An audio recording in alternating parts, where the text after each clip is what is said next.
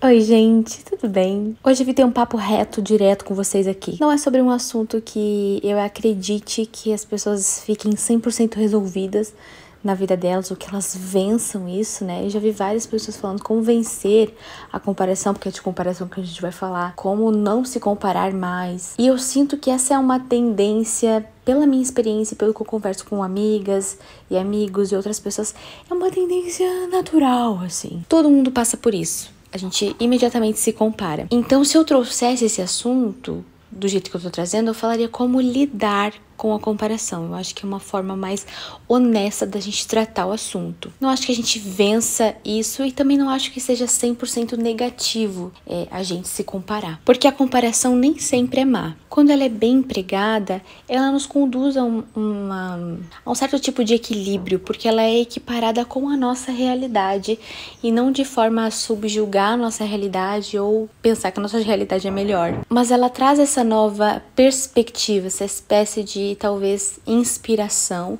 da gente mudar ou fazer alguma coisa diferente na nossa vida, na nossa jornada, enfim. Então eu acredito que a comparação pode nos ajudar a buscar coisas boas pra gente, sabe? Mas tendo a consciência da nossa própria realidade. Tem um livro muito bom, acho que ele tá aqui. Não é muito longo, chama O Mito da Perfeição, da Richella Parham, e ela fala bastante sobre essa coisa da prática da comparação e do quanto isso é exaustivo, e ela tem uma frase que eu acho muito legal. Quando a comparação é mal empregada, ela é o ladrão da alegria. Quando a gente utiliza o outro como nosso ponto de referência para avaliar como a gente se parece, a gente permite que a nossa alegria seja tomada. O outro tem uma realidade diferente, um temperamento diferente, uma história diferente, um jeito diferente de lidar com as emoções, de sentir as emoções. É impossível ter a vida de alguém sendo essa outra pessoa, porque aquela pessoa é única e você é único, eu sou única. Porque só nós somos do jeito que somos, só a outra pessoa é do jeito que ela é. Então só a outra pessoa pode ter a vida que ela tem e só eu posso ter a vida que eu tenho. Eu sou eu e o outro é o outro. Por isso me comparar com o outro é tão injusto. Comigo e com o outro. Quando a gente se compara com os outros, a gente tem essa tendência de focar nos pontos fortes das pessoas. E quando a gente foca nos pontos fortes das outras pessoas, a gente olha pra gente, é muito louco essa tendência de pensar nos nossos pontos negativos. Muitos de nós passamos por isso. Eu já passei muito por isso na minha vida. Eu via o ponto forte da outra pessoa pensei assim: eu não sou assim. Eu não sou tão boa assim. Então eu não sou é, suficiente. Eu não sou digna de ser amada. Porque eu admiro aquela pessoa porque ela tem isso e eu não tenho isso.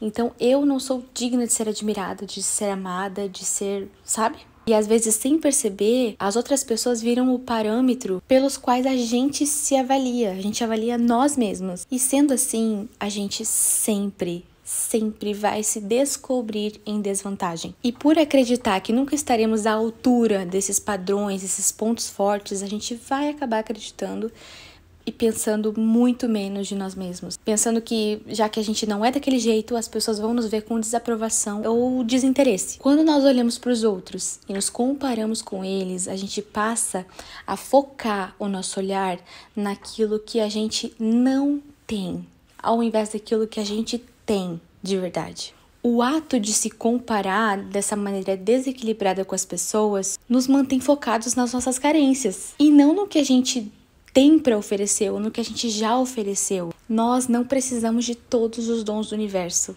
Não precisamos. Você não precisa ser 100% excelente em matemática, português, não sei o que, não sei o que, não sei o que, por exemplo. E especialmente nós, enquanto cristãos, vivemos em comunidade justamente para isso. Muitas vezes a gente é uma mão, a gente não é o pé. A gente não precisa saber andar, porque a gente não vai andar com a nossa mão. Faz sentido isso? A gente não precisa ter o equilíbrio do pé no andar se a gente é uma mão. A gente pode, graças a Deus, contar com o pé se ele fizer e se preocupar com a função dele. E eu vou te dizer, quanto mais o pé andar, mais ele vai ser excelente no que ele é. E quanto mais a mão for a mão, mais ela vai ser excelente no que ela é. E por isso também é muito importante a gente não se isolar, né?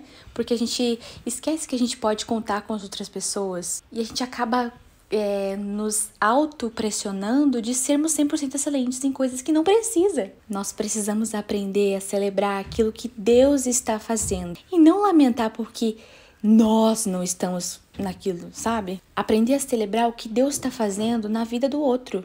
Não a lamentar porque eu não sou o outro que Deus está fazendo aquilo, porque Deus está fazendo uma coisa diferente na sua vida. Deus deseja fazer uma coisa específica na sua vida. E se o outro está sendo abençoado por Deus numa coisa que você acha legal, celebre isso. Aprenda a celebrar. Isso vai proteger o seu coração de sentir inveja, por exemplo. O fato de que as outras pessoas possuem dons ou talentos ou são abençoadas por Deus em coisas que você tecnicamente não é, antes ainda demonstra a beleza da criação de Deus, que é rico em bondade, rico em graça e derrama bênção sobre todas as pessoas. E eu quero encerrar esse vídeo muito rapidamente com uma frase desse livro que eu mostrei para vocês. Você foi criada para abençoar, não para impressionar. Eu não preciso fazer tudo 100% perfeito. Eu preciso simplesmente deixar que Deus me use, deixar que as coisas fluam através da minha vida do jeito que eu sou, com a porção de graça que o Senhor deu para mim, que é diferente daquilo que ele deu para outras pessoas, mas que especificamente ele deseja e vai usar conforme a sua vontade. Se você tem mais alguma coisa interessante sobre esse assunto de comparação que você já aprendeu ao longo da sua vida, eu quero muito saber, me conta nos comentários ou envie esse vídeo para alguém que você sabe que está sofrendo com comparação e que você sabe que talvez esse vídeo possa abençoar ela também. Um beijo, fiquem bem e até o próximo vídeo. Tchau!